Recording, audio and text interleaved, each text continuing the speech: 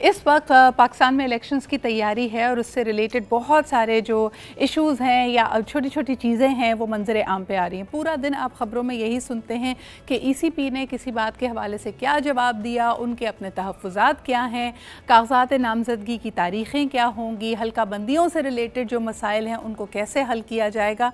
लेकिन अब जो लेटेस्ट नवीद है, उसके बारे में कोर्ट्स का ये कहना है कि हल्का बंदियों से रिलेटेड जितनी आपकी रिजर्वेशन हैं, उसको बाद में सुना जाएगा।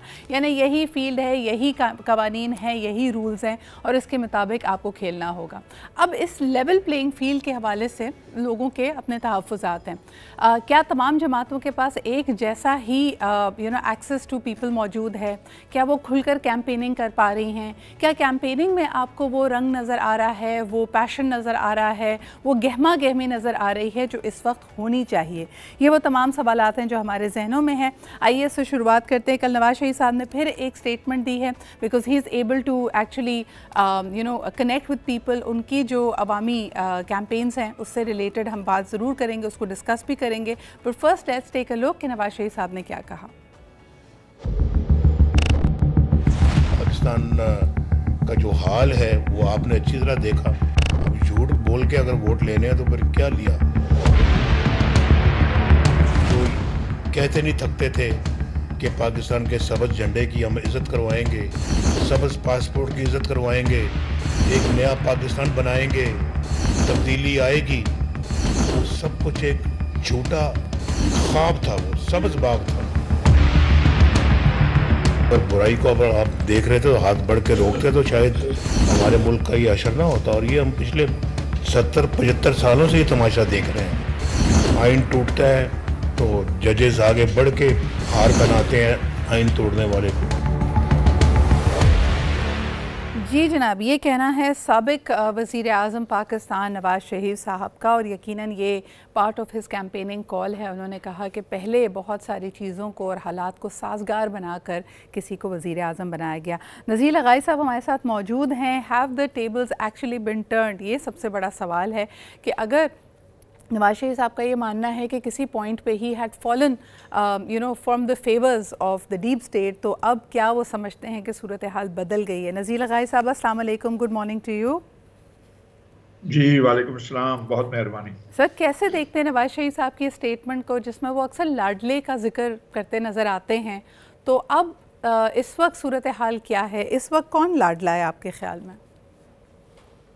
नहीं इस वक्त लग यही रहा है कि यही है जो जो कुछ अब तक होता रहा है हम्म। और जब से वो आए हैं इक्कीस सितंबर से लेकर अब तक के हम्म। मामला में लेकिन जो इश्यूज़ रेज कर रहे हैं इस वक्त जो उन्होंने रेज किया है या इससे पहले जो बात करते रहे हैं कभी कभार करते हैं वो और ये नहीं है कि उनका मेन पॉइंट यही है अगर ये पॉइंट है तो फिर इसके लिए पूरी काल देनी चाहिए मासिस को भी और सियासी जमातों को भी। आए सब पहले मिलकर बैठे कि आइंदा मुल्क के अंदर अगर किसी किस्म की गैर सियासी मुदाखलत हुई तो हम सब मिलकर मुकाबला करेंगे। इस बात के बारे में वो लोगों को आवाम को सियासी जमातों को एतमाद में लें और आगे बढ़ें। अगर किसी को भी नहीं अपनी अपनी जमात को एतमाद में ले लें कि जनाब आइंदा अगर ऐसा हुआ तो फिर कोई सहूलतकारी हासिल नहीं की जाएगी। अदालतों के थ्रू जलावत ने अख्तियार नहीं की जाएगी। और हम फिर यहीं बैठे रहेंगे पर यहाँ पर ही तमाम सख्तियाँ सहेंगे और कब कल अगर बुरा वक्त आता है तो हम आवाम को छोड़कर नहीं जाएँगे। ये बात उन्हें ज़रूर कहनी चाहिए। और ये अगर कहते हैं तो इनका ही इनकी इज़्ज़त बढ़ेगी इनका वकार बढ़ेगा इनकी शान बढ़ेगी। अच्छा मुझे बताया नजीर लगाई साहब एक बड़े अहम कारकुन समझे जाते थे वो भी सबक वज़ीर आज़म रह चुके हैं। शाहिद खाकान अब्बासी साहब की स्टेटमेंट सामने आ रही है। उन्होंने कहा कि जी जो कुछ हो रहा है वो सही नहीं है। फिर उन्होंने कैदोबंद के हवाले से कहा कि जी कोई बात नहीं सज़ाएँ और जेलें हमने भी काटी हैं। लेकिन उन्होंने ये भी वाजे किया कि पी एम एल एन को शायद उनकी ज़रूरत नहीं है और उनके साथ कोई रबता नहीं किया गया कैसे देखते हैं स्टेटमेंट को आप? नहीं अगर जो लाइन अख्तियार अलग अलग अख्तियार कर लेता है तो उसके साथ तो यही होता है।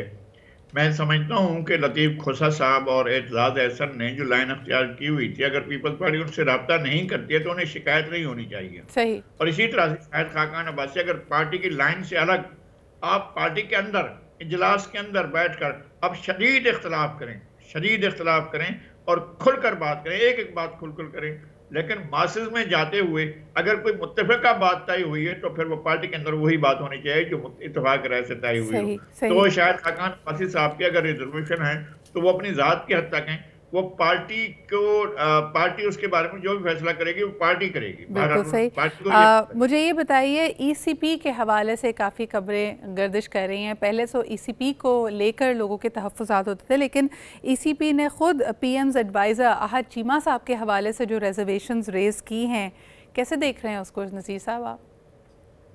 नहीं ज़ाहिर है वो सामने हैं और यानी बड़ा क्लियरली उन्होंने तो जानबदारी की बात की उन्होंने कहा कि आहद चीमा हाँ। साहब पहले भी हुकूमत का हिस्सा रह चुके हैं और अब वो अगर केयर टेकर गवर्नमेंट में और केयर टेकर प्राइम मिनिस्टर के एडवाइज़र हैं तो उस पर ईसीपी को तहफ़ात हैं। क्या कहेंगे आप?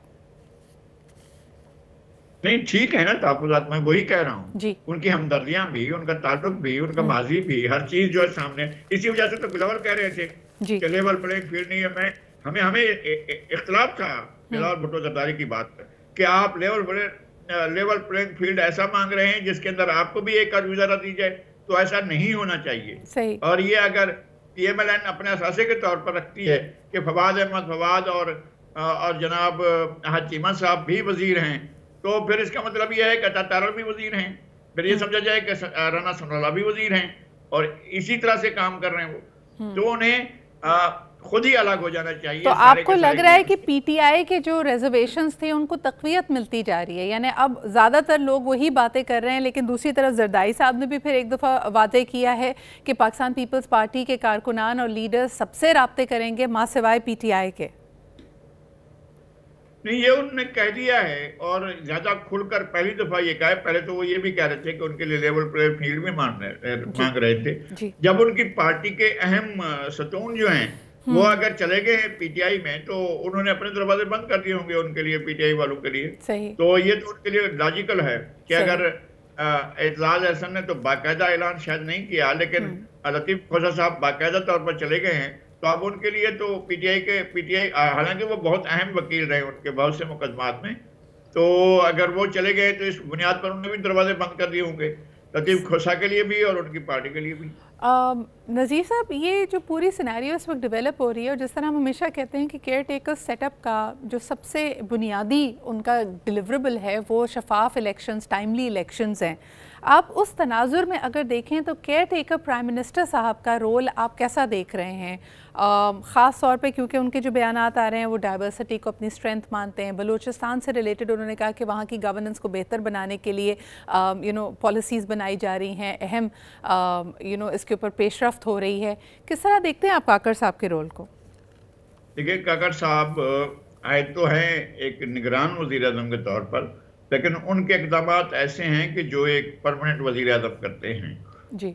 पॉलिसी स्टेटमेंट दे रहे हैं। हालाँकि पॉलिसी स्टेटमेंट्स जो हैं वो इस वक्त वो पॉलिटिकल पार्टी दे सकती हैं जो इलेक्शन रन कर रही हैं। जी। और उनके एक साथी अपनी कोई भी पॉलिटिकल स्टेटमेंट दे सकते हैं जो उनके साथ थे कल और फिर रिजाइन देकर चले गए वो अपनी पॉलिसी की कोई भी बात कर सकते हैं। निगरान जो है वो मुस्तकबिल की गवर्नेंस के बारे में कोई चीज़ तय नहीं कर सकते हैं उनका ये काम भी नहीं है उनका ये मनसब भी नहीं है।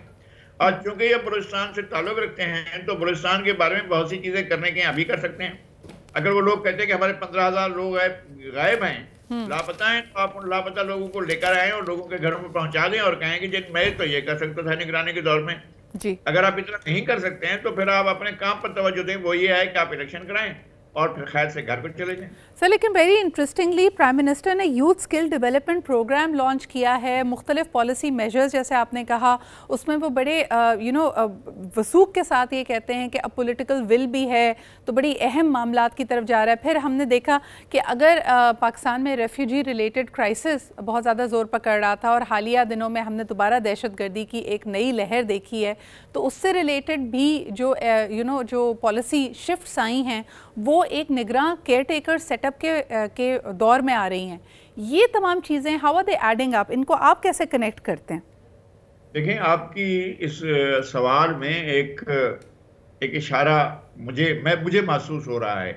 और मैं भी एक बात कह दे रहा हूँ ताकि बाद में रिकॉर्ड पर रहे कि ऐसा तो नहीं है कि कल कोई पार्टी इस इलेक्शन के बाद या इलेक्शन से पहले इलेक्शन से पहले तो शायद कोई भी ना करे लेकिन इलेक्शन के बाद ये बात किसी भी पार्टी की तरफ़ से सामने आ जाए कि जनाब इन्हीं को ही हम और आगे चलाते हैं और ये वज़ीर अजम जो हैं, अभी तक फुड़ा फुड़ा काम करते रहे हम चाहते हैं कि ये अपनी पॉलिसीज़ को आगे जारी रखें। हो सकता है कि किसी पार्टी की तरफ़ से आ जाए ये बात और इस पर कंसेंसस डेवलप करने के लिए तमाम के तमाम लोग जो हैं, अपने काम से लग गए और कहें कि जी आप आए और अपना काकड़ साहब के बारे में एक कंसेंसस डेवलप करते हैं। और अगर ऐसा सोचा जाता है तो फिर वो शायद उनके जहन में अगर ये बात है शायद ये काबिल कबूल होगा नवाज़ शरीफ साहब को शहबाज शरीफ साहब को बिलावल भुट्टो को जरदाई साहब को इस तरह का ऑप्शन आप समझते हैं कि पाकिस्तान की बड़ी जमातें इसको कोई यू नो अहमियत भी देंगी या इसके ऊपर सोच सकती हैं वो आपको याद है कि जब आ, सुप्रीम कोर्ट ने कहा था कि जाएँ और आर्मी एक्ट में हम्म। इनसे कहा था इमरान खान साहब से कि जाएँ आप तरमीम करा लें सेकंड टर्म के लिए चीफ। आर्मी चीफ की सेकंड टर्म के लिए। और ये सारे के सारे दौड़ते हुए आए थे। हालाँकि ये मुखालिफ थे इस बात जी। दोनों पार्टियाँ मुखालिफ थी। और इस बात की दौड़ते हुए आए। और पार्टी बेचारे अरकान को भी पता नहीं था। फिर वो पार्लिमानी लीडर को या जिनको मैसेज देना था। उधर ख्वाजा आसिफ को इधर नवीद कमर साहब को ये मैसेज मिल गया था कि जनाब आपने इन ब्लॉक जाकर वोट देना है आर्मी आ, आर्मी एक्ट में तरमीम के लिए ताकि आर्मी चीफ को दोबारा एक टर्म मिल जाए। जो जनाब कमर जावेद बाजवा साहब के लिए ली गई थी। तो ये पार्टियाँ जो हैं, वो इस तरह से दौड़ते हुए आकर काम करती हैं। अब देखते हैं, और दोनों की मंजूरी से था ये जनाब नवाज़ शरीफ साहब ने मंजूरी दी थी, और उधर आसिफ अली जद्दारी साहब ने मंजूरी दी थी। नज़ीर साहब आखिरी सवाल करना चाहूँगी। आप जब इतनी खुलकर बात कर रहे हैं गुज्त दो तीन साल की सूरत हाल और यही डेवलपमेंट सब लोगों के सामने है मॉरल हाई ग्राउंड तो छोड़िए पॉलिटिकल पॉपुलैरिटी आप किस पॉलिटिकल जमात की तरफ़ देखते हैं? देखें जब गुज्त हुकूमत पीटीआई के सेटअप को डिसमेंटल किया गया नो कॉन्फिडेंस वोट आया तो बिलावल भुटो जरदाई साहब का शहबाज शरीफ साहब का ये कहना था कि आइनी तरीके से हम ये तब्दीली लेकर आए हैं। और डेढ़ साल के बाद हमने देखा कि जिन बुनियादों पर वो लेके आए थे, उन्होंने कहा कि जी जमहूरीत ख़तरे में है या जो हम अपनी इकतसादी तौर पर अपनी मीशत को देख रहे हैं, उसके लिए गलत फ़ैसले लिए जा रहे हैं। लेकिन ये जो टर्म था जिसमें ग्यारह जमातें एक साथ मौजूद थी unfortunately those that was the toughest year for Pakistan. आम आदमी के लिए बिजली के नर्ख से लेके पेट्रोल की कीमतें, अशिया खुर्दनोश सब चीज़ें महँगी हुई। और कहा यह गया कि जी, अगर पी टी आई का टर्म कंटिन्यू भी करता, तब भी यही हाल होता। लेकिन हमने तो एटलीस्ट उसमें तब्दीली की कोशिश की। विद दैट कॉन्टेक्स्ट और वो तमाम बातें जो अभी आप कह रहे हैं, इस वक्त किस जमात की मकबूलियत आपको ग्राउंड पे नज़र आ रही है? नहीं, बाहर तो यही कहा जा रहा है सोशल मीडिया ज़्यादा यही कह रहा है कि पीटीआई बहुत पॉपुलर है। और पीटीआई की पॉपुलरिटी एक बयानिया बनाने से हुई है। मैं अब भी ये कहता हूँ कि पीटीआई ने पाकिस्तान की सियासत में कोई गैर मामूली कारनामा अंजाम नहीं दिया है और उन्होंने पाकिस्तान में अपने साढ़े तीन साल दौर में सवाए तबाही और बर्बादी के कुछ भी नहीं किया है। और अगर वो रह जाते तो शायद इससे ज़्यादा बुरे हालात होते अगर इकदार में रह जाते। अब वो पॉपुलर हैं और उनके बारे में ये तासुर है कि बहुत पॉपुलर है। ये तो कहा तो ये हमारी अपनी मिनहसुल कौम हमारी जमहूरियत की अंडरस्टैंडिंग और जमहूर की अंडरस्टैंडिंग रियासत के मामले बारे में क्या कहता है? एक तरफ़ आप जैसे समझदार लोग कह रहे हैं और यू नो तमाम पॉलिटिकल जमातों का भी यही बयानिया था कि पीटीआई ने मुल्क में तबाही की। लेकिन ग्राउंड पे आप खुद मान रहे हैं कि वो बहुत मकबूल हैं? नहीं उन्होंने बयानिया बनाया ना उनको मौका दिया क्या? मैं और आप कह रहे हैं कि बाकी ग्यारह जमातें अपना बयानिया बनाने या उनके बयानिए को एक तरह से शिकस्त देने में नाकाम है। बिल्कुल फेल हो गई है वो। फेल हो गई अपना बयानिया उन अपने इकतदार में होते हुए भी नहीं बना सकी और अब भी नहीं बना पा रही है। सही। आप भी बना सकते हैं। बना अपना नवाज़ शरीफ ने जो स्टेटमेंट दिया है ये अपना बयानिया ठीक जी। अपना बयानिया नहीं पाएँगे इसलिए कि ऊपर जो डंडा है वो बहुत ताकतवर है। वो इनको ये ऐसी ज़ुबान इस्तेमाल नहीं करने देगा कि जनाब जो है हम हम गैर सियासी इदारों की मुदाखलत की जो बात कर रहे हैं और जाकर सियासत के अंदर वो खुद ही उसके ज़्यादा सहूलतकार बनेंगे और उसको ज़्यादा सहूलत देंगे। पाकिस्तान के जो मौजूदा ऑब्जेक्टिव सरकमटांसेस हैं वो ऐसे नहीं हैं कि क्या पीटीआई आ जाए? पीटीआई को पाँच साल के लिए इकतदार दे दें वो इस मुल्क में और तबाही फेर देगी बर्बाद कर देगी और ये भी वो कारनामा अंजाम नहीं देंगे। Sir thank you so much Nazir साहब इस बात को वाजे करने के लिए कि पॉलिसी के हवाले से आप समझते हैं कि पीटीआई कोई कारनामा अंजाम नहीं दे सकती बल्कि आपके खदशात मौजूद हैं कि शायद ये मुल्क के लिए और ज़्यादा नुकसान का बायस बने।